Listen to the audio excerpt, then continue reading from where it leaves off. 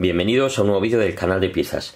Eh, bien, os pongo una pregunta que me habéis dejado, bueno, en un vehículo que le está mezclando el aceite con el agua, o sea, con el líquido refrigerante en el vaso de expansión y bueno, ¿cómo se puede saber si el problema viene del, enfriador de aceite-agua o es un problema de culata o junta de culata? Hombre, lo primero que se mira es eh, a ver si sale humo azul por el escape. Esto querría decir ya que el aceite está llegando a la cámara de combustión, se está quemando y está saliendo. Entonces ya sabemos que ahí hay que levantar culata. Pero como en este vehículo, por ejemplo, no sucedía eso, lo primero que se hace, si no, como digo, si en este o en cualquier otro, es eh, primero desmontar el enfriador de aceite agua y comprobar si funciona. ¿Cómo lo comprobamos? Bueno, en este de hecho ha sido sencillo.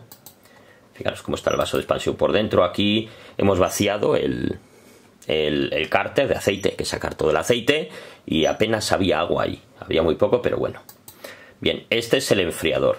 ¿Cómo hemos hecho la prueba nosotros? Pues fijaros, la primera prueba muy sencilla. O sea, eh, le hemos limpiado un poco, claro. Ha sido cuestión de soplar. O sea, se limpia esto un poco, claro. Se sopla por aquí fuerte, ¿vale?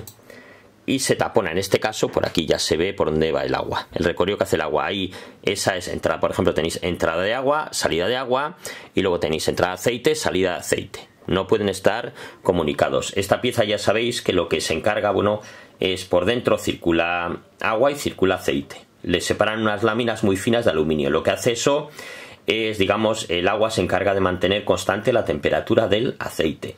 En este caso, como digo, ha sido una prueba muy sencilla porque ha sido soplar, simplemente con el pulmón haciendo fuerza, como estaréis hinchando, imaginaros un globo, taponamos aquí con el dedo y salía por aquí, por la entrada donde solo debería salir eh, aceite. Entonces ya hemos visto que es que tenía una fisura bastante maja por dentro, ¿vale? Y entonces la pieza estaba mal. De hecho, esta pieza, como digo, se ha cambiado. En ocasiones, si la fisura es muy pequeña, pues ahí habría que, que comprobarlo. Ahí ya tendríais que hacer la prueba, meterle aire a presión. Bueno, aire a presión o agua a presión.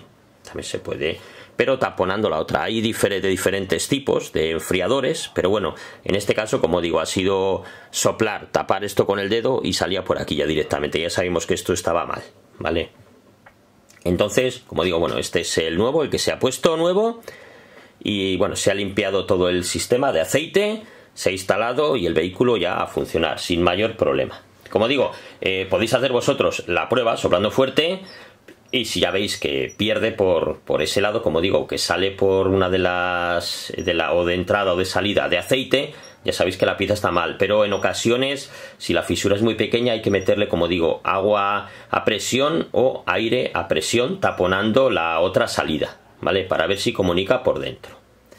Bueno, pues aquí tenéis el vídeo. Si os ha sido de utilidad, pues no olvidéis dar un like y suscribiros al canal.